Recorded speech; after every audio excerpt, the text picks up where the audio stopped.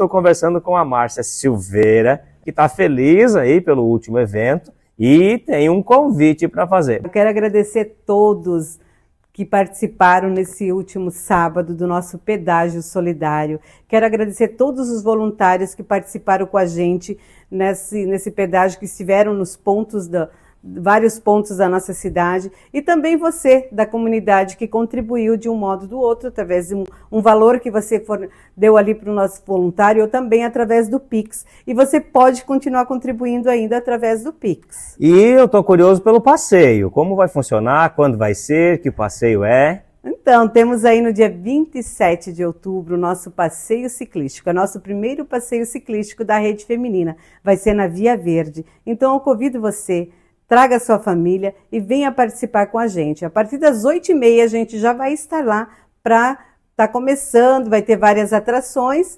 Pode estar tá entrando nas redes sociais da Rede Feminina, Facebook, Instagram, que lá está toda a programação do, do, nosso Outubro Rosa. Aqui na Rede Feminina também tem o bazar, né? Sim, a gente tem o nosso brechó aqui com roupas uh, com valor pequenininho para homens, para mulheres, infantil. A gente aceita doação também. E você venha para cá, venha conhecer o nosso brechó. Você vai estar tá adquirindo e vai fazer diferença também para a rede feminina, vai estar tá contribuindo com a gente.